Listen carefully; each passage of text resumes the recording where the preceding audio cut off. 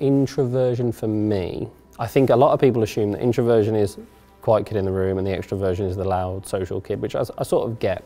But for me, introversion is about how you recharge. So introverts recharge on their own, solitary, chill, quiet time. Extroverts like to recharge in and around people, you know, the vibe of a party, that sort of feel. I am definitely an introverted person. I think now, probably if you were to meet me, I'd come across as a, a far less introverted than when I was younger, but I'm definitely an introvert. I was very, very shy as a child, very quiet. But I think if like if I was comfortable with you, then I was very much completely normal, not particularly shy. But particularly, um, I think in terms of like definitely new people or anything that's slightly out of my comfort zone, very, very quiet, very reserved and, and quite withdrawn as a child. So I, I, outwardly, I wouldn't come across as the most confident person in the world, but I think inwardly, I, I've always been quite confident in myself and my abilities and the things that I want to do. So I think, yeah, if you were to look at me from if you were to observe me, you wouldn't have me down as a 10 out of 10 confidence, but I don't think I lacked confidence in myself. I, I think introversion and co confidence are two separate things for me, albeit it's very easy to assume that they are linked because someone that's introverted who tends to be a little bit more quiet and withdrawn, you might think that they're less confident. As a kid, I definitely didn't struggle with confidence, but I didn't really, I wasn't particularly brilliant in social situations. And I needed that time to recharge. So listen, I loved playing with my mates, playing football, whatever, all that sort of stuff. But then at the end of the day, it was really important to me that I could just sort of chill out and do my own thing. And, and to be honest, it is still like that now. And I'm actually quite fortunate because my fiance Robin is also, well, she's actually far more introverted than I am. So yeah, and interestingly, I do think the older I've got, I'm probably less introverted. I would say the one thing that did I did struggle with, and I really had to work at it, would definitely be public speaking, and I think I'm still working at it to this day. And this is the thing that I, I talk about this a lot actually. And it's a little bit different with public speaking, but I think the concept will make sense roughly.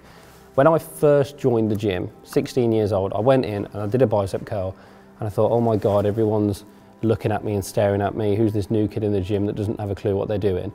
And then in reality, all of those people were probably thinking something fairly similar, right? They were generally just thinking about themselves. Now, I understand with public speaking, you're almost the odd one out in a sense because you're stood on stage, but for the most part, people aren't that worried about you and they just, they're there, they're listening to you generally, because probably because they want to find something out or they're just interested. So I think if you approach it from a place of you have value to offer people, I think it makes a difference. For me, honestly, just practice, practice, practice, just doing it time and time again. And by the way, you don't even have to do it in front of people. You could just do it in your room on your own. There's a really cool uh, quote, I don't know if it's a legit quote or not, I've seen. Uh, I think they say it's supposed to be from Winston Churchill, where it says, I'm just preparing my impromptu remarks. And I thought that was really cool because, you know, you can prepare things like this. You can have little snippets of sentences or paragraphs or remarks that you prepare in advance that you can then refer to as you're talking. So I think, yeah, practice is really important. Even, you know, speaking to camera like this. At the start, it was, I was so bad. And you, honestly, you can ask Robin recording the first YouTube video. I just, it, it was just something that was alien to me and it's, it's something that I wasn't really used to. Now, like I've said, I don't, I'm not necessarily sure confidence, introversion, extroversion. I'm not sure how they're linked. I just, I just don't know. They may be, they may not be. But I mean, we were just chatting to James then, and I think that by the nature of being an introvert, maybe you tend to push yourself out into less social situations, and maybe that's where you can sort of people will have the impression of introverts being less confident, I'm not sure. But I do think that confidence in many respects is something that can be trained and it's something that you can learn. And so much of it comes down to where you are mentally and even, you know, the way that you move and the way that you act. So regardless of whether you're an introvert or an extrovert, you can definitely learn confidence and the, the things that will allow you to be more confident or appear more confident. Was Joe an introvert? Don't think so. He's more like a hybrid. Joe's like a, an extremely well-rounded human being. So yeah, he's more like a hybrid, I would say. Maybe more, well, I'd say lean towards being an extrovert.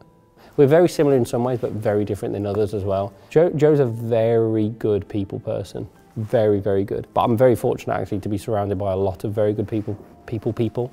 And I learn by watching.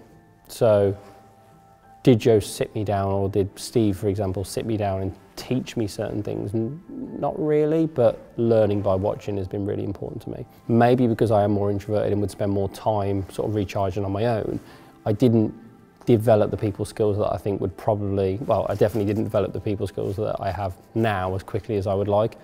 So I was fortunate to be around people that had great people skills that I could really watch and observe and see what they did, understand what they did, why it worked and why they did it, and then I could sort of try and do it myself. And I think over time, as I tried those things, it worked for me.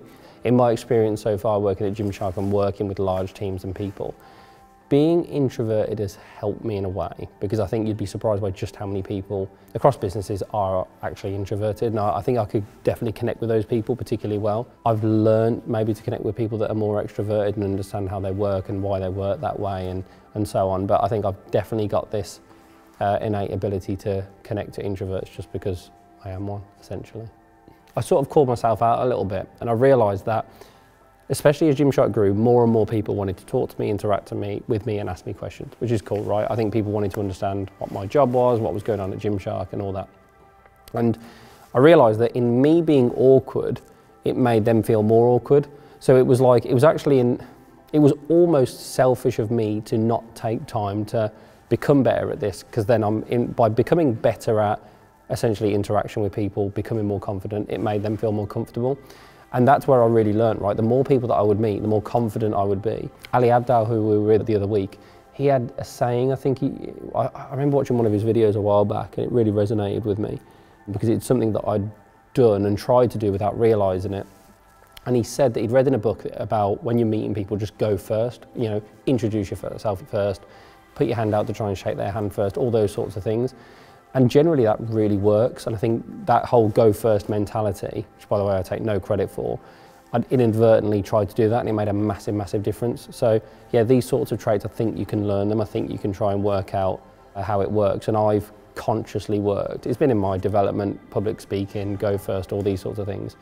It's been something I've consciously worked on for the last few years and it's, it's definitely paid me back a million times over because it's completely changed my life. I think I'm definitely an optimist though. I tend to think things will work themselves out. There's been times in the past where I've had huge problems that I felt like I need to solve and I'm just quite comfortable and just sitting on that problem and just waiting for the inspiration to come to me. And sometimes like consciously going out and trying to find that inspiration, whether it's going out for a walk or going to London or whatever, just trying to find that inspiration to solve that problem. So I think inherently, I think I do have an inward confidence in myself, the people around me and our ability to solve problems.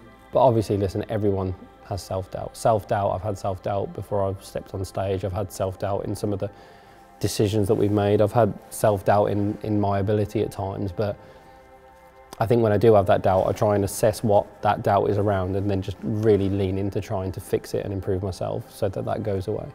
Funnily enough, in the last few years particularly, as Gymshark's mm. become more and more successful, I've been very fortunate and I've been able to travel the world and I've been able to meet a lot of very successful people. And you'd be surprised actually, there, there are as many introverts as extroverts and they're brilliant in their own way and they do their own thing and they've learned to really lean into their skill set in, a, in the ways that, by the way, extroverts have too. And I think that's really, really exciting because, listen, whether you're an introvert or an extrovert, whatever you're good at, whatever you're bad at, you can just you know practice and work on yourself and, and get yourself to a, a place where you are really becoming the best version of yourself that you possibly can be. And I think that's a very optimistic thought for anyone that's introverted or extroverted.